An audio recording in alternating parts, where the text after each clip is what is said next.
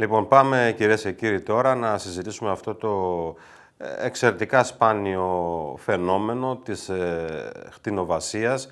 Ε, έχω μαζί μου μέσω Skype τον ε, Γιώργο τον Μικελίδη, τον ψυχίατρο τον Γιώργο τον Μικελίδη. Κύριε Μικελίδη, καλό σας απόγευμα. Ε, καλό σας απόγευμα. Ακούσατε και εσείς χθες αυτή την υπόθεση, η οποία διαδραματίστηκε πριν 2-3 χρόνια. Ένας 65χρονος καταδικάστηκε σε 9,5 μήνη φυλάκιση, με συγχωρείς, για υποθέσεις κτηνοβασίας, έτσι τα λέω πολύ γρήγορα. Ε, ήταν κατηγορούμενος, ε, υπήρχαν αντίον του 57 κατηγορίες καλύτερα.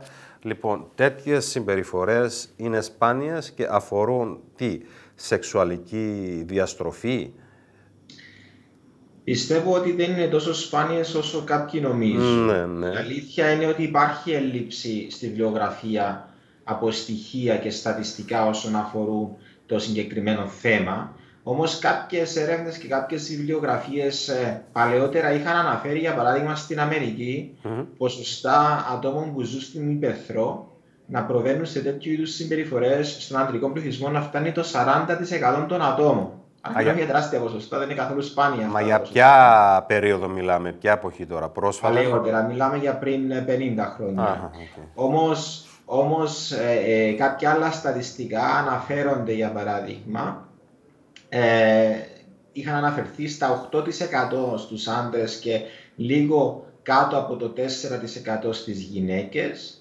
ε, μιλάμε για περιστατικά παραφιλίας και ζωοφιλίας, ε, τα οποία σύμφωνα με κάποιες άλλες έρευνες ε, αποδίδεται ένα ποσοστό της τάξης του 2% ε, στον πληθυσμό. Φυσικά θα έλεγα ότι είναι πάρα πολύ δύσκολο να δούμε πόσο αντικειμενικά αυτά τα πράγματα, αυτοί οι αριθμοί, διότι άτομα τα οποία παρουσιάζουν τέτοιου είδους συμπεριφορές ή παρουσιάζουν τέτοια είδους ε, ψυχική διαταραχή. Το έχουν καλά κρυμμένο. Ναι. Δεν θα ζητήσουν ποτέ βοήθεια, διότι ε, είναι ένα πράγμα το οποίο δεν θέλουν να στιγματιστούν, είναι ένα πράγμα το οποίο θα συνεχίσουν να κάνουν πίσω από κλειστές πόρτες ή στην ύπεθρο ή οπουδήποτε προβαίνουν σε τέτοιου είδους ε, πράξεις, τα οποία αναφέρονται ως ε, σεξουαλική διέγερση στα πλαίσια ε, διέγερσης από ζώα είτε μέσω πράξεων είτε μέσω ε, φαντασιώσεων. Ε, ε, θα ε, λες δεν θα ζητήσουν βοήθεια. Θέλουν όμως να ζητήσουν βοήθεια. Είναι κάτι που τους διεγείρει; Ναι, ακριβώς, όπως το λέτε. άρα ε, θα έλεγα ότι...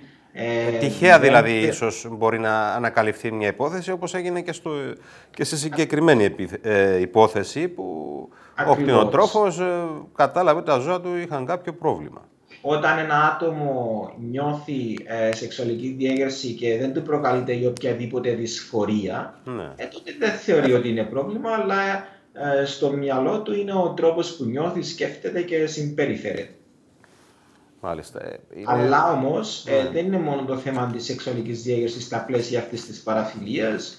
Υπάρχουν άτομα τα οποία μπορεί να παρουσιάζουν αντικοινωνική διαταραχή προσωπικότητας ή άλλου είδους μορφές ψυχικών διαταραχών που μπορεί να υπάρχει έτσι κάποια συσχέτιση με την κακοποίηση ζώων και εγκληματικές συμπεριφορές γενικότερα θα έλεγα. Ναι, αλλά φαντάζομαι πρόκειται για ένα ακραίο έτσι, ψυχοπαθολογικό φαινόμενο αν θέλεις.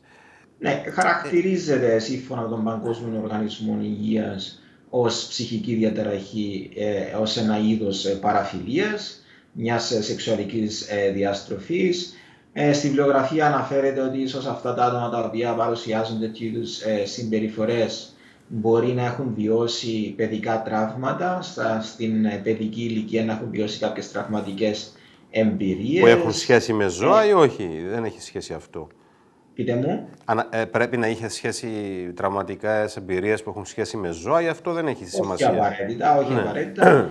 Υπάρχει έτσι μια νοριμότητα στην εξέλιξη της σεξουαλικότητας ίσως ε, του ατόμου, να υπήρχαν κάποιες σχέσεις οι οποίες να ήταν τραυματικές, οι οποίες να διαμόρφωσαν κάποιες δυσκολίες στην ορίμανση της σεξουαλικότητας του ατόμου, πράγματα τα οποία να, να βίωσε ένας άνθρωπος να δυσκολεύεται να συσχετιστεί ένα άτομο με άλλους ανθρώπους και να συσχετίζεται για παράδειγμα με τα ζώα, να νιώθει πιο κοντά στα ζώα παρά να νιώθει ναι. κοντά σε έναν άνθρωπο. Δηλαδή, αυτός...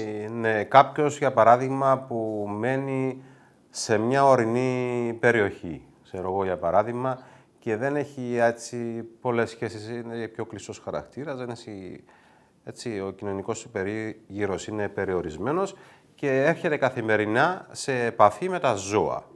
Μπορεί να αναπτύξει έτσι, μια τέτοια, ε, πώς να το πούμε, όχι αιμονή, μια τέτοια συμπεριφορά. Είναι Όλα είναι πιθανά. Η ανθρώπινη ύπαρξη, η ανθρώπινη συμπεριφορά, ο τρόπος που σκέφτεται και συμπεριφέρεται ένας άνθρωπος, είναι ένα σύνθετο, θα έλεγα, πολυδιάστατο θέμα που επηρεάζεται και από τα γονίδια, από τις περιβαλλοντικές συνθήκες που ζει και μεγαλώνει. Άρα, οτιδήποτε συναναστρέφεται ένα άτομο μαζί μπορεί να επηρεαστεί, να επηρεάσει το ψυχικό του κόσμου και να διαμορφώσει ε, διαφορετικές ε, συμπεριφορές, διαφορετικές προσωπικότητες ε, και θέματα ε, σεξουαλικότητας ε, στα πλαίσια πάντοτε ε, της καθημερινότητας ενός ανθρώπου. Ε, είπες πριν, αναφέρθηκες, είπες πριν για τη βιβλιογραφία, ε, μας πήγες πίσω 50 χρόνια. Α, αυτού του είδους τα φαινόμενα, έτσι, είπες ότι ήταν εντονότερα τότε, αλλά έχουν να κάνουν σχέση και με ε, ίσως πιο μικρές κοινωνίες, πιο συντερικές κοινωνίες. Για παράδειγμα, ε, ορεινές περιοχές είναι γνώρισμα κάποιων κοινωνιών ε, που ζουν ε, στο Ήπεθρο, για παράδειγμα. Το θέμα ε, δηλαδή, της όπως... είναι ένα πολύ σύνθετο θέμα, το οποίο πάει ναι. αιώνες πριν, ίσως από την ύπαρξη του ίδιου του ανθρώπου στη γη και τις αλληλεπιδράσεις που είχε τόσο με άλλα ζώα και άλλους ανθρώπους.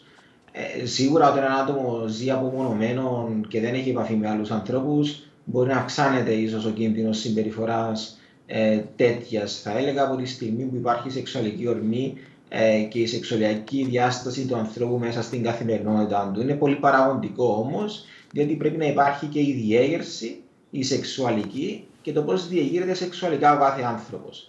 Τώρα τα στατιστικά, τα παλαιότερα με τα σημερινά, θα έλεγα για το συγκεκριμένο θέμα είναι πάρα πολύ δύσκολο να πούμε με αντικειμενικότητα ποια είναι τα σημερινά στατιστικά και αν έχουν αυξηθεί ή έχουν μειωθεί μέσα από τις δεκαετίες, διότι είναι ένα θέμα πάρα πολύ δύσκολο να μελετηθεί, θα έλεγα, και βιβλιογραφικά.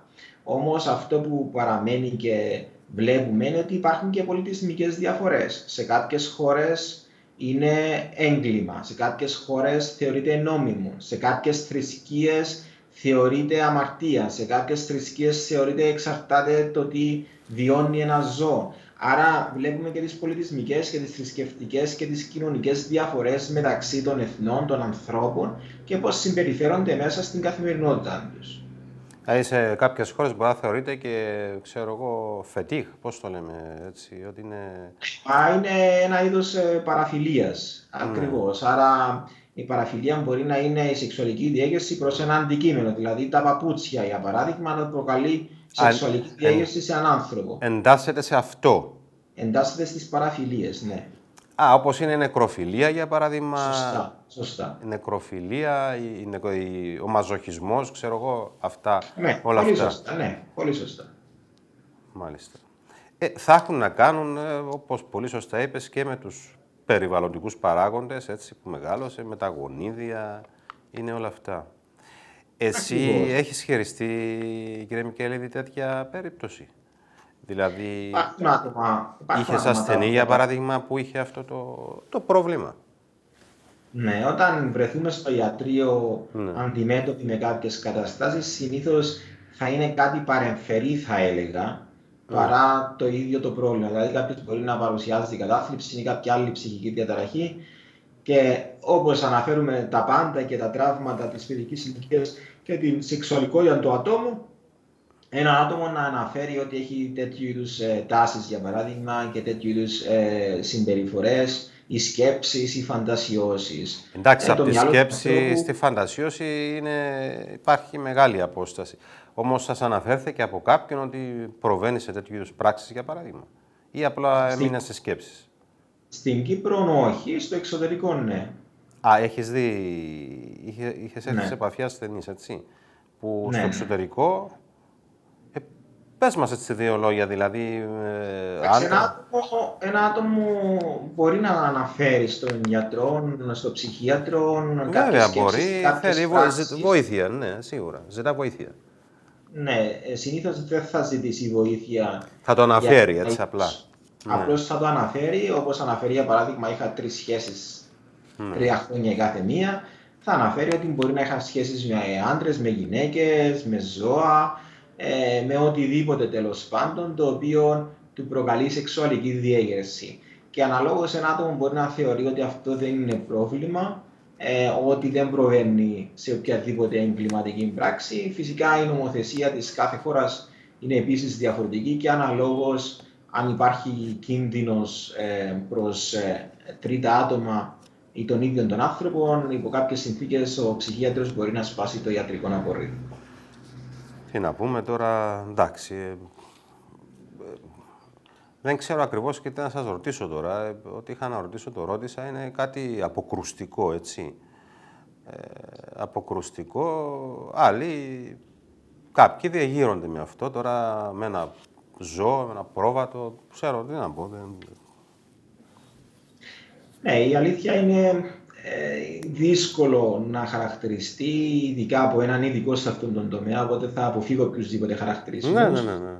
Ε, το θέμα είναι ότι ένας άνθρωπος ε, παρουσιάζει οποιαδήποτε μορφή ε, συμπεριφοράς αναλόγω των βιωμάτων του και έχει διαμορφώσει μια προσωπικότητα με τις δικές του, έτσι θα έλεγα, ιδιαιτερότητες, η οποία προσωπικότητα μπορεί να επηρεάζεται μέσα στην καθημερινότητα και μέσα στη ζωή του.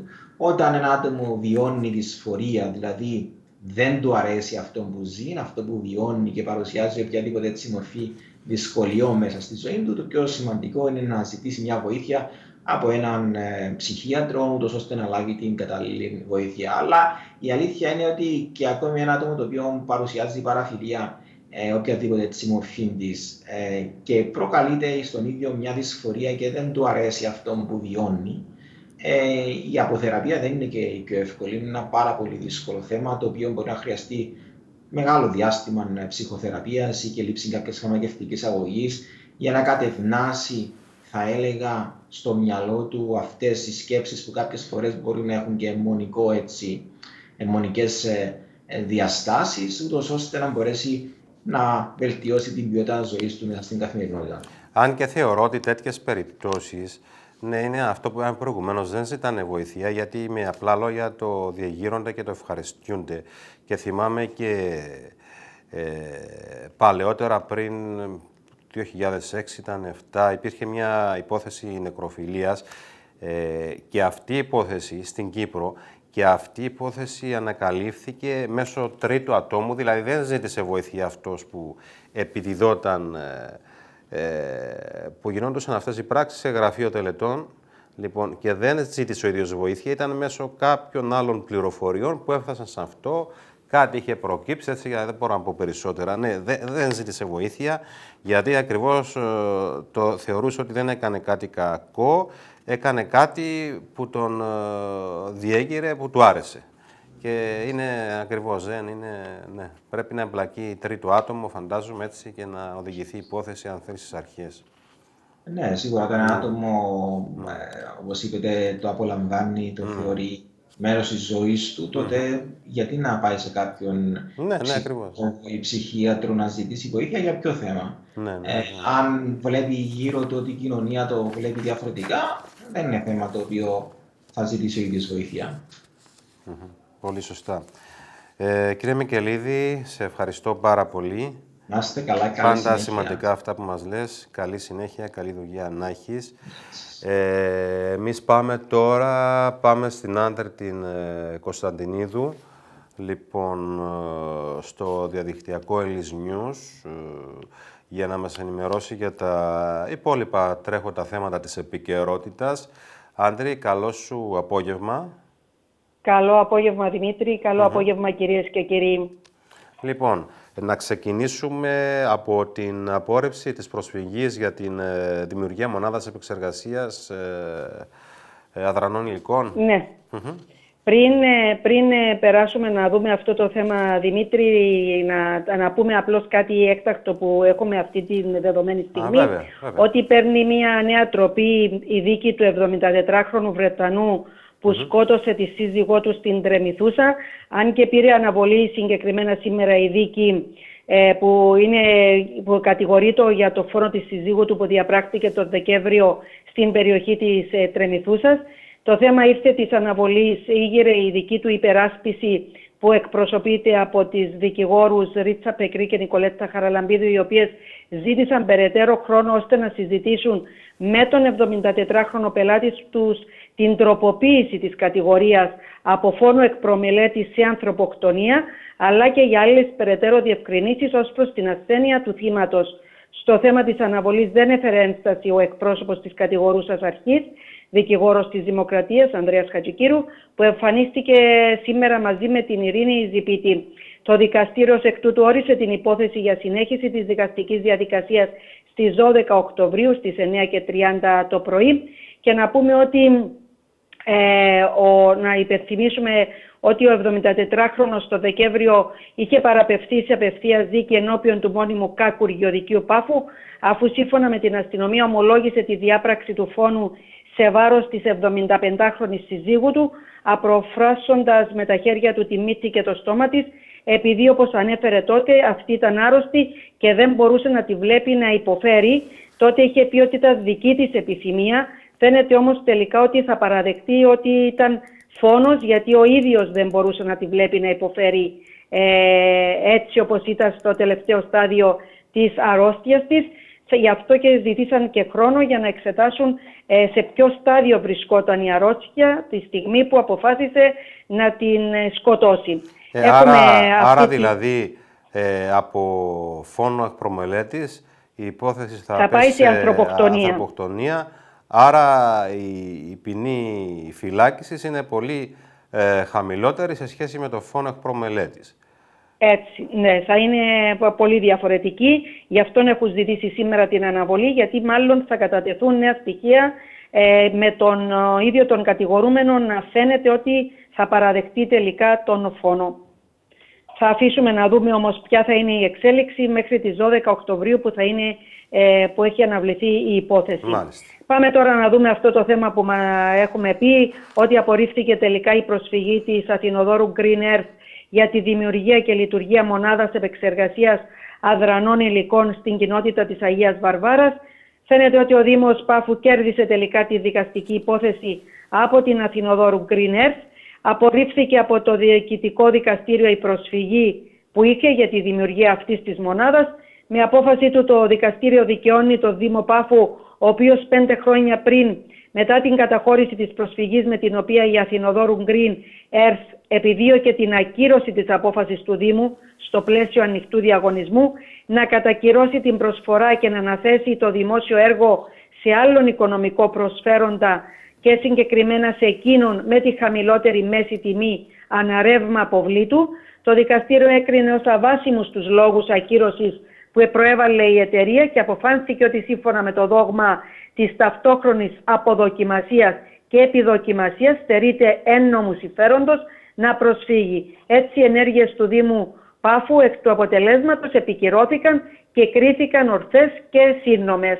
Έτσι απορρίφθηκε η, η, η πρόταση ουσιαστικά της ε, εταιρείας για δημιουργία της μονάδας και λειτουργία της μονάδας επεξεργασίας αδρανών λιμάτων από την ίδια. Πάμε τώρα να δούμε την υπογραφή των συμβολέων για την ανακαίνιση και άμεση χρήση των πρώην γραφείων της Κεντρικής Συνεργατικής Τράπεζας, τα οποία θα αποτελούν τη μόνιμη πλέον στέγη του Συμβουλίου Αποχετεύσεων Πάφου και σύντομα και του Επαρχιακού Οργανισμού Αυτοδιοίκησης. Τα συμβόλαια υπογράφηκαν μεταξύ του Συμβουλίου Αποχετεύσεων Πάφου με την ανάδοχο εταιρεία Ιωάννου Construction, που αφορούν τη μικρής κλίμακας μετατροπές στον υφιστάμενο γραφειακό χώρο των πρώην γραφείων της Κεντρικής Συνεργατικής Τράπεζας επί της οδού Χαράλαμπου Μούσκου. Το έργο θα είναι συνολικής αξίας 100 περίπου 5.000 ευρώ. Θα ξεκινήσει άμεσα και οι εργασίες αναμένεται να ολοκληρωθούν σε διάστημα τριών μηνών. Στο κτίριο πέραν από το Συμβούλιο Αποχετεύσεως Πάφου θα στεγαστούν τα γραφεία του ΧΙΤΑ Πάφου, ενώ από τον Ιούνιο του 2024 θα στεγαστεί και ο επαρχιακός οργανισμός αυτοδιοίκησης Πάφου.